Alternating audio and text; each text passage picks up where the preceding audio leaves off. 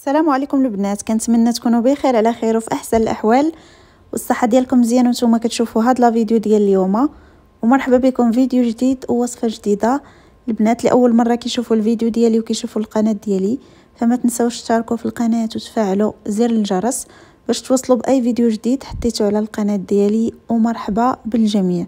اليوم البنات غدا نشارك معكم وصفة رائعة لعلاج الصلع وملء الفراغات. البنات اللي عندهم فراغات في الشعر ديالهم هاد الوصفة هذه البنات راها تنبت الفراغات كتوقف تساقط الشعر كتطول الشعر بسرعة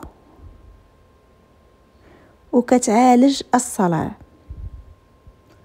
الوصفة مجربة ومضمونة وكتعطي نتائج رائعة وكتلاحظوا الفرق من أول استعمال كتلاحظوا الفرق كترطب الشعر كتوقف تساقط الشعر كتطول الشعر تنبت الفراغات. فغدا ندوز باش نحضر معكم هاد الوصفة هذه غدا نحتاج الأول مكون وهو بذور الشيا بذور الشيا رائعة في ترطيب الشعر.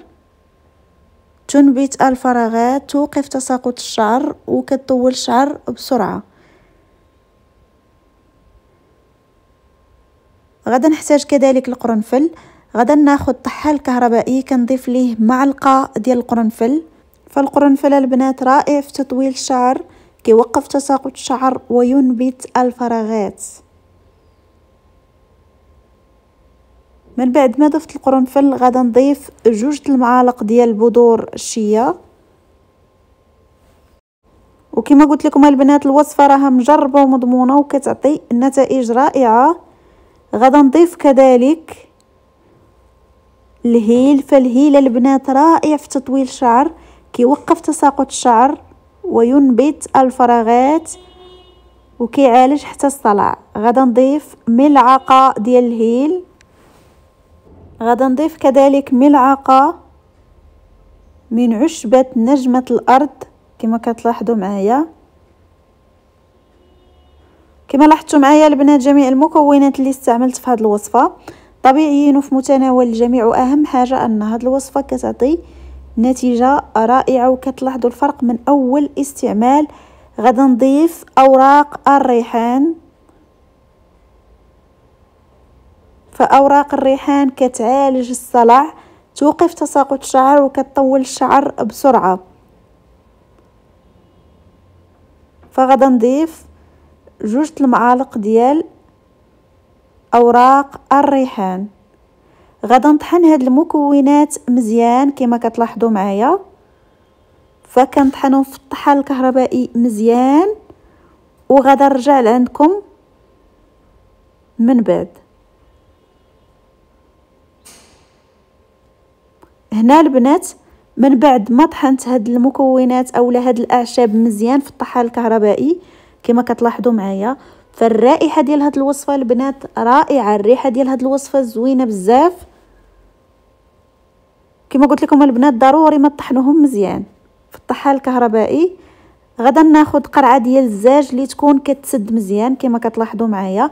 غدا نفرغ فيها هاد الأعشاب المطحونة.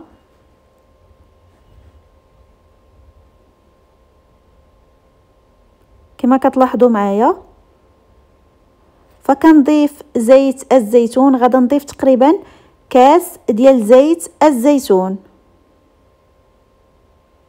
والوصفة البنات كتعطي نتائج رائعة فكترطب الشعر كتوقف تساقط الشعر كتعالج الصلع كتطول الشعر بسرعة وتنبت الفراغات. فغدا نضيف تقريبا كاس ديال زيت الزيتون.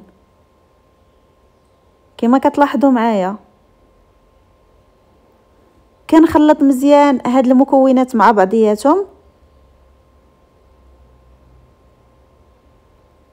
كما كتلاحظوا معايا طريقة الاستعمال ديال هاد الوصفة هذه كتحتفظوا بهاد القنينة هذه ديال الزاج في شي مكان مظلم يعني كتخبيو هاد القرعة هذه في شي بلاصة مظلمة. المدة ديال أسبوع يعني حتى كدوز أسبوع عاد كتبداو تستعملوا هذا الزيت هذا. ملي كدوز أسبوع كتاخذوا هاد القرعة هذه ديال الزاج وكتبداو تاخذوا الزيت اللي غيقدكم في الشعر ديالكم. وكدهنوا الفروة ديال الشعر ديالكم والشعر كذلك. كتخليو هاد الوصفة من ساعة ثلاثة السوايع في الشعر ديالكم من بعد. كتغسلوا الشعر ديالكم مزيان. هاد الوصفة هادي كتستعملوها ثلاثة المرات في الأسبوع قبل ما تغسلوا الشعر ديالكم. فالوصفه البنات راها كتعطي نتائج رائعة وضروري ما تداوموا على هاد الوصفه هذه فإلا بغيتوا نتيجة سريعة فضروري ما تداوموا على هاد الوصفة هذه وتستعملوها ثلاثة المرات في الأسبوع. فصدقوني البنات الوصفة كتعطي نتائج رائعة والوصفة مجربة ومضمونة والنتائج ديالها رائعة. والبنات اللي أول مرة كيشوفوا الفيديو ديالي وكيشوفوا القناة ديالي فما تنساوش تشاركوا في القناة وتفعلوا زر الجرس. باش توصلوا بأي فيديو جديد حطيته على القناة ديالي ومرحبا بالجميع ونخليكم على خير ونتلاقاو فيديو جديد إن شاء الله. بسلامة عليكم.